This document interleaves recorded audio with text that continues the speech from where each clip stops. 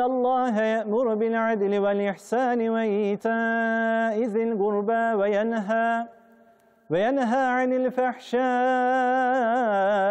والمنكر والبغي يعظكم لعلكم تذكرون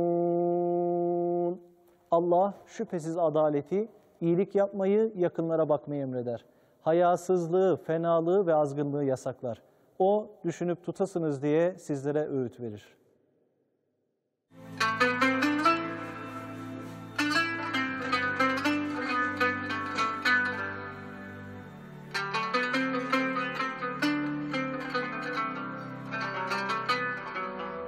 ...2002 yılında Simav Anadolu İmam Hatip Lisesi'nden mezun oldum. Ee, ve e, yetenek kurslarına yazıldım Simav'da. İşte model resimleri falan çizmek için yetenek sınavlarına girdim üniversitelerin. Ee, bu girdiğim sınavlardan Ankara'da ve Isparta'da başarılı oldum. Gazi Üniversitesi'nde üniversite hayatım başladı. 2006 yılında Gazi Üniversitesi'nden mezun oldum ve hiç ara vermeden Gazi Üniversitesi Eğitim Bilimleri Enstitüsü'nde Geleneksel Türk El Sanatları bölümünde yüksek lisansımı tamamladım. 2012 yılında e, Diyanet İşleri Başkanlığı'nda göreve başladım. İlk görev yerimde e, Karabük ili Yenice ilçesi buraya Çeltik Köyü Osmanlılar Mahallesi Camii'ne e, ilk tayinim buraya çıktı 2012 yılında.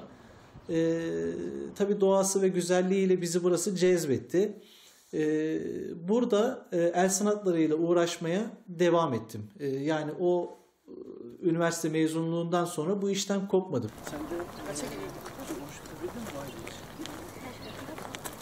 Beş kere.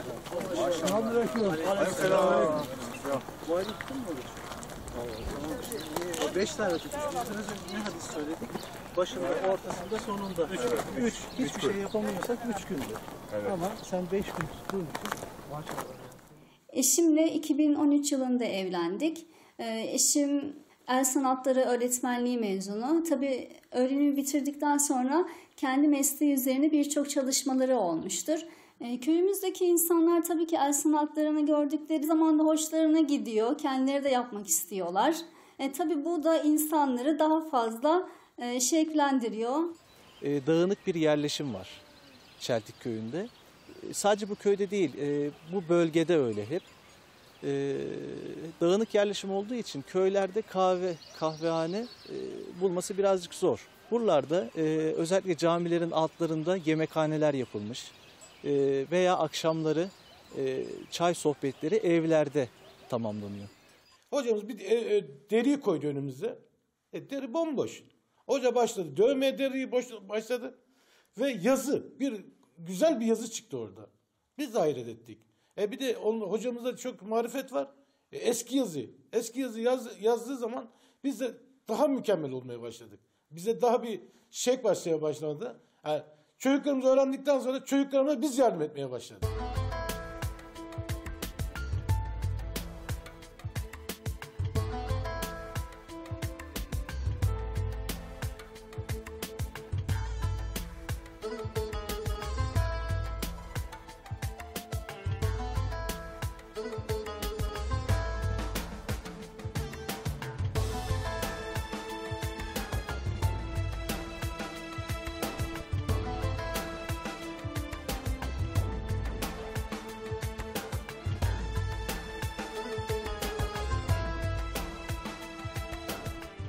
Deri işlemeciliği, bomboş deriye e, Allah lafzını, işte kelamı, değişik e, figürleri yazarak bizlerin e, beğenisini, e, ilgimizi çekmiştir. Halkımızın da ilgisini çekmiştir. Ee, tabii bu da milletin de biraz ilgisini çekti. Ee, bu ilgiden dolayı da Yenice'de iki tane sergi açtım. Ee, bu sergilerden, sergilerin sonucunda sağ olsun e, Müftü Bey ve kaymakamlık e, makamları bana e, teşekkür belgeleri takdim ettiler e, bu sergilerden dolayı. E, daha sonra e, Ankara'da Kocatepe Camii'nde Diyanet İşleri Başkanlığı Sosyal Kültürel İçerikli Daire Başkanlığı din hizmetlerinde burası bir sergi e, açmayı planladı ve bizlerle iletişime geçti.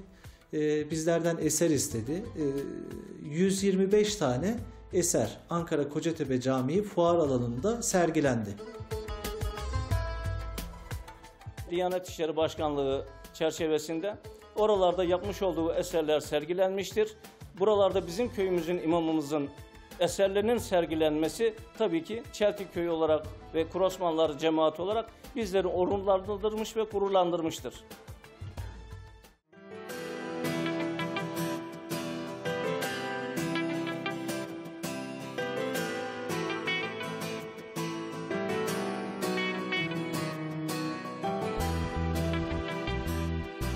Yenice Halk Eğitim Merkezi ve Yenice Milli Eğitim Müdürlüğü ile ortaklaşa olarak e, Okullar Hayat Olsun projesi kapsamında Özal Mahallesi İlköğretim Okulu'nda e, böyle bir kurs açmayı düşündük. Yaklaşık bir senedir buradaki öğrencilerimizle bu kursumuza devam ediyoruz.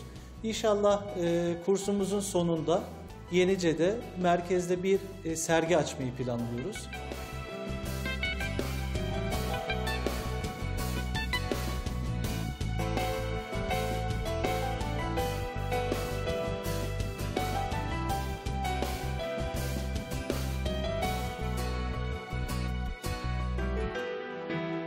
Çocukların el sanatlarına ilgisi çok yüksek. Ee, özellikle biz bunu zaten okulun bitiminden sonra başlıyoruz. e, derslerin bitiminden sonra. Bu da çocuklar için bir motive kaynağı oluyor aslında. Derslere daha iyi sarılmaları için bu yaptığımız el sanatları bir motivasyon oluyor çocuklar için de.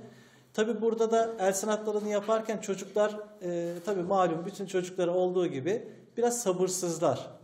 Ee, biz burada el sanatlarıyla çocuklara aslında sabrı öğretiyoruz.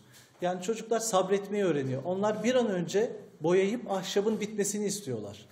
Ama bu e, yavaş yavaş kademe kademe olan bir şey. Çocuklar biraz aceleci ama burada biz çocuklara bu el sanatlarıyla yaptığımız işlerle inşallah sabrı da öğretmeye çalışıyoruz. Sabrı öğrenen çocuklar da tabii daha uysal oluyorlar ve anne babalarıyla ebeveynlere ilişkileri de tabii daha güzelleşiyor. Bizi bu kurslarımızın katkısı e, aile içi iletişimde de çocuklarla aslında çok etkili. Önceden çocuklarım çok yaramazdı.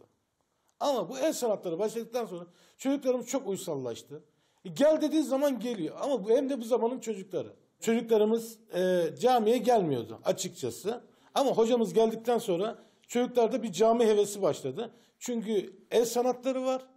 E, çocuklarla da kaynaşması çok iyi hocamızın. E, biz de işte cemaat olarak da desteğimizi hocamıza tüm elimizden gelen gayreti gösteriyoruz. Şimdi burada hocamızın açmış olduğu e, kurslar çerçevesinde öğrencilerin aile bireyleriyle ve toplumdaki diğer kişilerle olan e, mesafelerinde çok büyük farklılıklar var. Ben kendim de şahit oldum. Hocamızın bir imam hatip olarak gelip burada el sanatları kursu açtığından dolayı birçok öğrencinin bundan etkilenerek camiye geldiklerini gördüm. Toplum içerisinde bir imam efendinin sosyal aktivitelerinde olduğu, farklı işlerle de uğraşabildiği, farklı alanlarda da ustalaşabildiği e, burada hocamız bunu kanıtlamış oldu. Burada yetiştirdiğimiz çocuklar tabii ileride anne baba adayı hepsi de. Ee, tabii onlar da burada öğrendikleri sabrı ileride anne ve baba olduklarında çocuklarına da yansıtacaklarına inanıyorum ben de. Yani böylelikle biz de tabii e, inşallah geleceğin toplumunu da inşa etmeye çalışıyoruz. E, tabii çocuklar bizim geleceğimiz. Onları nasıl yetiştirirsek ileride de biz onlardan öyle faydalanacağız.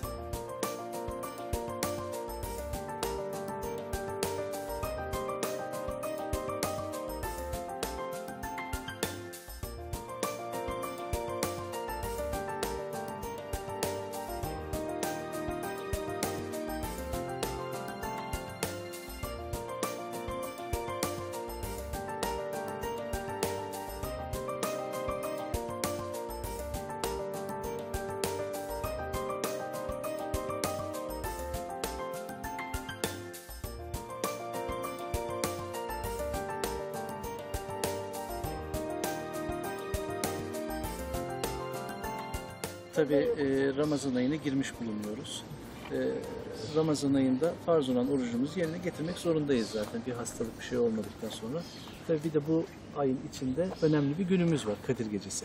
Kısaca Ramazan ayında e, oruçla ilgili kısa bir sohbet edelim. Daha sonra da Kadir Gecesi ile ilgili birkaç hadis-i şerif söyleriz. E, Sohbetimizi bitiririz inşallah.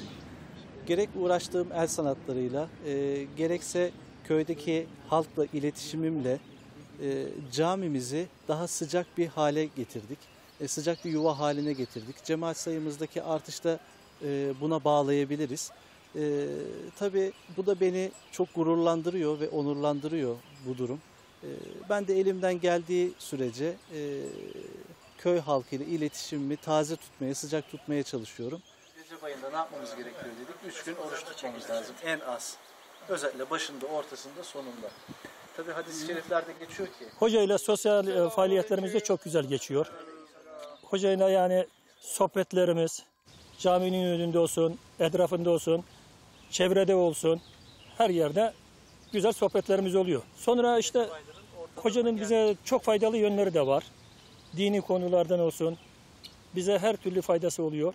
Ramazan'da oruçlunun iki tane sevinci vardır. Bunlardan birisi iftar vaktindeki sevinci, bir diğeri de Allah'a kavuştuğu vakit sevincidir. Ee, diğer bir peygamberimiz sallallahu aleyhi ve sellemin hadis-i şerifinde ise oruçlunun iftar vaktindeki duası geri çevrilmez diyor peygamber efendimiz.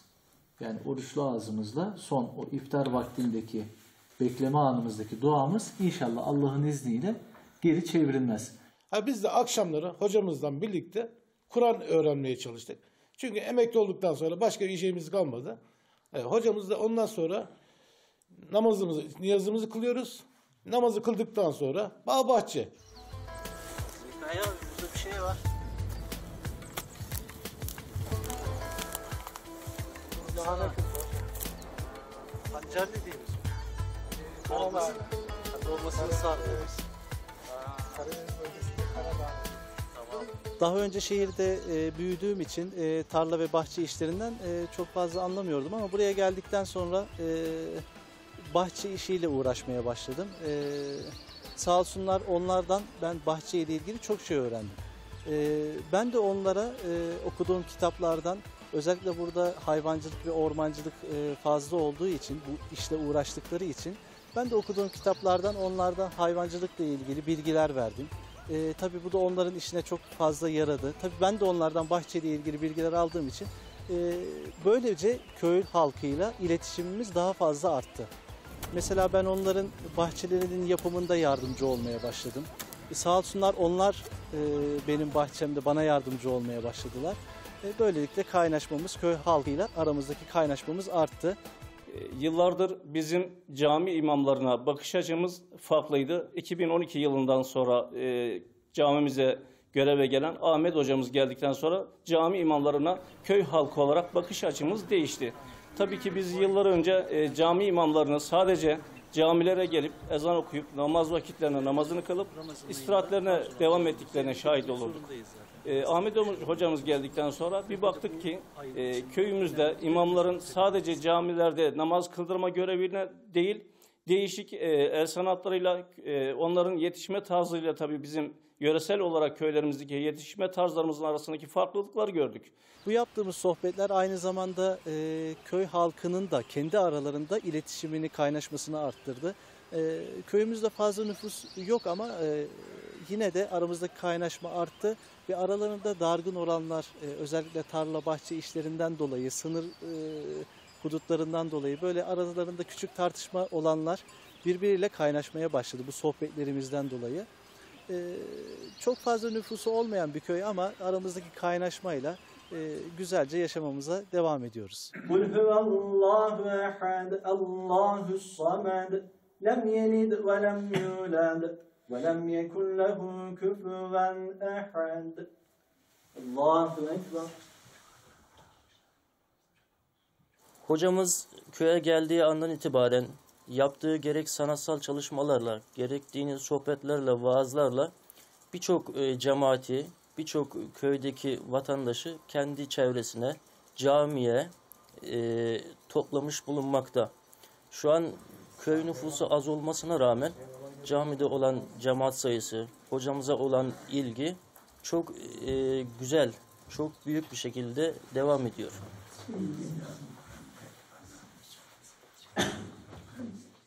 Ee, Ahmet hocamız sayesinde Kur'an-ı Kerim'i öğrendim. Hatta Kur'an-ı Kerim aşkı doğdu. Her harfiyle çok güzel de bize dersler veriyor ve ben onun her verdiği derste gerçekten kendimi çok geliştirdim. Hatalarımı düzeltmeye çalıştım. Ve şimdi de yapacağım tek şey Kur'an-ı Kerim'i daha hızlı okumak hedefim. Ve onunla beraber çok güzel bir şekilde sanat öğrenmek istiyorum. Ve bunu cani gönülden istiyorum. Çünkü o bana gerçekten bu gücü ve kuvveti verdi. Din görevlisi dediğimizde e, aslında din görevlisi toplumun lideridir. E, yani sosyal kültürel faaliyetlerde bulunması gereken yani önder olarak bu işleri yapması gereken kişidir. E, tabii biz de elimizden geldiğince bir önderlik yapmaya çalışıyoruz inşallah. E, bu el sanatlarıyla uğraşarak gerek el sanatları gerek ahşapla gerek deriyle uğraşarak bu işlerde bir önderlik yapmaya, sosyal kültürel olarak köy halkının bu işleri öğrenmesi açısından bir şeyler yapmaya çalışıyoruz.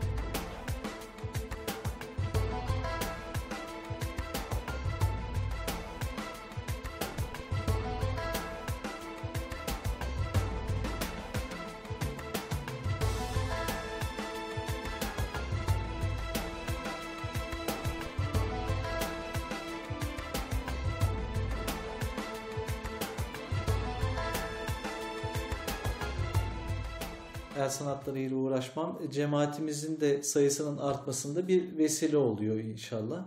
E, tabii bu camiye bir kişi de olsa çekmek bizim için büyük bir mutluluk. Özellikle din görevlileri için büyük bir mutluluktur bu.